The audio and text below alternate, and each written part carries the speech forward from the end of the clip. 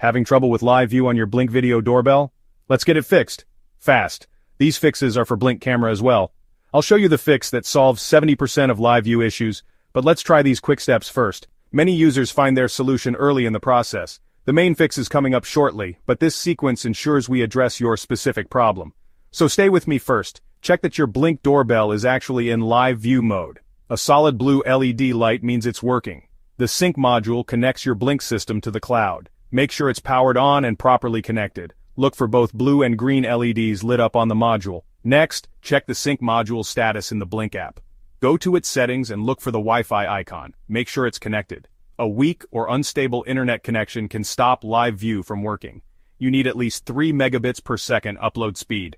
Run a speed test to make sure your internet is up to the task. Here is the most common fix. If your internet is slow, lower your video quality to standard, recommended, or saver mode to make things smoother. Navigate to doorbell settings, then video settings, and lower the quality. Blink only supports 2.4 GHz Wi-Fi, not 5 GHz.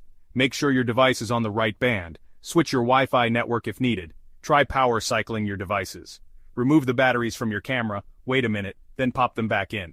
Do the same for the sync module, unplug it, wait, then replug. If all else fails, reset your sync module. Press and hold the reset button for 5 seconds until the red light flashes, then re-add it in the app using the QR code. Just like that, your Blink Live View should be back in action. Give us a thumbs up and subscribe for more tips and tricks. Like, subscribe, comment below.